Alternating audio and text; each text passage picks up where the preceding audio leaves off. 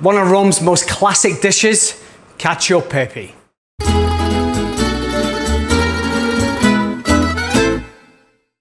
It's really simple, right? There's black pepper, there's pecorino cheese, and there's pasta of some description, and then some of the water that the pasta was cooked in. A little bit of salt, that's it. There's nothing else in this. It is a creamy emulsified white sauce on your pasta, laced with peppercorns, black pepper, um, that's been crushed up freshly, so it's fruity and zingy and delicious.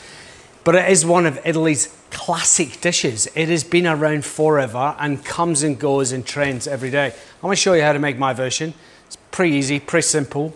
We're gonna start with two, two different size sieves, like a fineish kind of one and one that's a little bit bigger and a blender, which has gone missing. Don't worry, we found it. Peppercorn, black peppercorns, right? Put them into your blendery guy.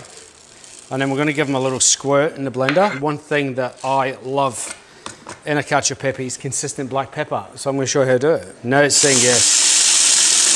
All right.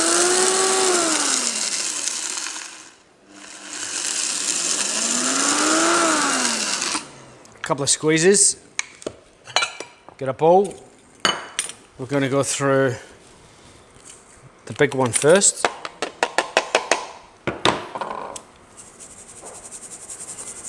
Shake all around. What you'll end up with is like very rough cracked pepper left in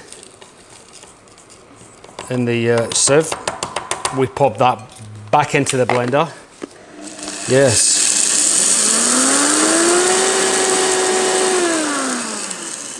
Same again. Uh, you just do that a few times, basically, until it's it's all fine enough to come through. Okay, so now you have kind of like it's one size. There's no big chunky bits in it, but what there is in it is lots of very fine pepper that I really don't want in there. So I put it into the fine sieve, and then get rid of all that super fine black pepper. Is this job OCD or is This is proper OCD. Like I've got, I've got issues. What else do you need? You need uh, a blender, which will help you. So I'm, I'm kind of showing you the cheats version of um, of cacio pepe, right? Cacio pepe has this beautiful pecorino cheese, which I've grated, and the thing that creates this sauce is the pecorino cheese and pasta water. Now, traditionally, they would just dump the pecorino cheese in after the pasta's cooked in a bowl uh, with some of the pasta water and then basically toss the pan until it emulsifies, right? It's very hard to get right. If your pan's too hot, the water's too hot, the cheese will coagulate and turn into sort of like stringy cheese. You're in all sorts of trouble. You put in too much water, it'll be thin. Uh, if the temperature's not right, it won't emulsify at all and it'll just be like grated cheese through a bit of water pretty much. So I just wanted to show you a foolproof way that no matter what happens, you can, you know, win at cacio pepe, right? I've got half a pack of pasta here, 250 grams. I've picked this super fat spaghetti. It's number something. It's not the normal one. It's, it's like a little bit thicker. It's really nice for, for cacio pepe. Give it a twist, put it in, the water. Now, in my water, I want to add very, very small amount of salt. Normally in pasta, you'll see me like dumping loads of salt in, but because I want to use the pasta water, the pasta water here is really important. It cannot be salty, otherwise we're in trouble. Also, pecorino cheese, very salty cheese. Do you know what I mean? So if your pasta water, which we're using in the sauce, is salty plus a salty cheese, you're going to be in trouble pretty quick, right? So on this packet pasta, it says nine minutes, right? Nine minutes is too long. I'm telling you now. So we're going to set a timer for seven minutes. That gives us two minutes to mess around with the sauce at the end, right? What I'm now going to do is I've got another little blendery guy here, and I'm going to grab some of the pasta water, like just a little bit. So it's like I don't know, a quarter of a cup. Dash of cold water because I don't want to cook my cheese, right? And then I'm gonna drop my cheese into this blender. Now, you could use one of those stick blender guys if you wanted. You could use a, um, I don't know, all the other flavors of blenders that are out there pretty much. I'm using a Vitamix because I quite like it. And then we're going to start blitzing it.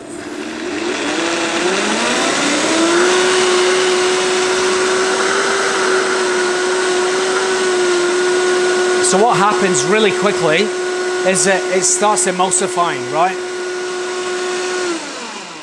The way any kind of blender works is that there is friction, huge amount of friction inside because of the blades, right?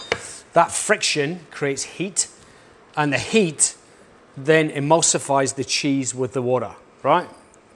Basic but a little sciencey thing going on there. So instead of you tossing the pan off, getting the heat exactly right with a like honestly probably a four or five degree margin. Just let friction do the work inside the, the blender because it will bring together your cheese and the water much better than you can, right? I just want to show you the consistency of this now after, after a minute. So have a look at that. It's like silky smooth it's hot because of the hot water and the friction of the blender. Like, but from a consistency, consistency perspective, that is like if Uncle Polly was doing it by hand, he would be a legend if he brought a cacio pepe to the table that was that smooth. It would mean that he had just all the stars aligned and everything was perfect. I've done it in a blender in a minute. So I'm gonna leave that on the blender just on low. So as it keeps moving, moving the cheese in the water to make sure that I get the right consistency. It doesn't solidify again. It's moving, we're great. We are at 16 seconds, right, left on the pasta water. So now, look at that. I was really smart and had a colander ready. So you need the pasta water, so set a bowl under your colander.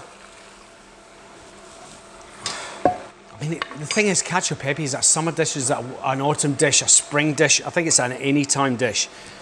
I think it's so filled with tradition that I think that's why nobody messes with it pretty much. Like, you know you see a million versions of carbonara, you don't see a million versions of cacio pepe. It's pretty true to the origin of what it was. Um, and for me, eating it with friends is, you know, or at home, like a lot of people would, you know, love to have a kebab when they've been out having a few drinks. I'm dying for some cacio pepe. Trust me. Like that's it. So I've poured some of my, my water, pasta water in here. And I'm just gonna bring that up to a boil and I'm gonna add a rude amount of the pepper. It's rude, right? I've never actually measured it, so maybe we should, since we've got to put a recipe up. So what's that? One tablespoon two tablespoons and a bit. Two generous tablespoons. And what we're going to do is bring that pasta water up to a boil and there's starch from the pasta inside that water. And what it's going to do is start exercising that starch again, getting it going, releasing all the flavor out of our pepper. And you can smell it. It's fruity. It's kind of, can you smell that from there already? It's like black pepper can be fruity or it can be harsh. By blitzing it, we've taken all that harsh burnt exterior of a black peppercorn away. So you don't get that super harshness. You get a heat, very clean heat, and it's kind of fruity. So pan is up to the boil, and then we're gonna turn it down to a low heat. We're gonna get our pasta in there. And now we're gonna toss off the pasta in the water with the black pepper. Now, immediately what happens, because the pasta's come out of the water, it like, it wants to suck up any kind of moisture at all. So what we're doing is letting it suck up uh, uh, black pepper flavored starchy water, right? So now it's time for the sauce. Now remember, I've got this on the lowest possible heat, right? If you have it on a high heat, you're gonna cook your cheese and it's all gonna fall apart. Just don't do it, right? So now, I take my pan off the heat and we're gonna go in with our cheese sauce.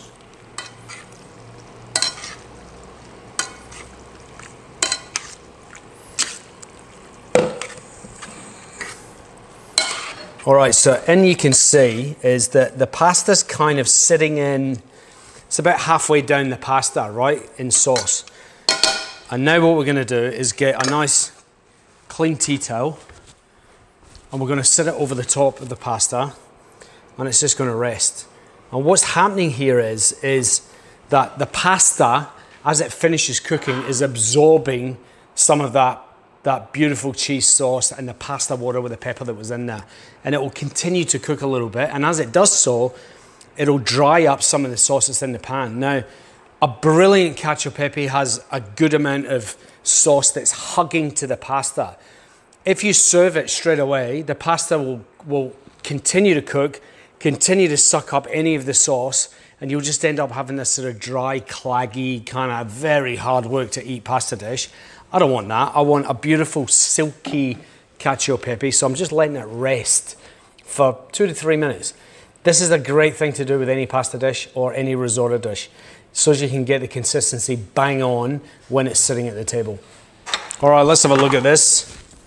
It's had two to three minutes just to sort of sit on the stove. And look at, you can see the sauce, there's not a huge amount of, of sauce left in the bottom of that pan. Very, very little, and it's becoming thicker. So what's beautiful about that is, is that now is that a consistency that will just coat the pasta beautifully. At this stage, you could, if you're an absolute fiend on the old pecorino, you could add a little bit more pecorino cheese at this stage, and it would kind of give you some of the cheese would stick to the pasta a little bit more sort of like old school style cacio pepe um, if you want at this stage. So we can see now that I've got literally no sauce left at the bottom. So we're in a good place now to start actually plating. So just grab some of your pasta, right? And then just let it fall. And as it falls, just twist it a little bit. You don't have to go crazy, but just twist it a little bit. Again, tossing the pasta around. You get a nice little mini one for the top. Fold it over and there you go. Really simple, really delicious. It's a classic. It is cacio pepe. Thanks for watching, and if you liked that, please click subscribe because there's plenty more where that came from. Also, if there's a recipe that you actually want to see me make, chuck it in the comments below and we'll get around to it. Thanks for watching.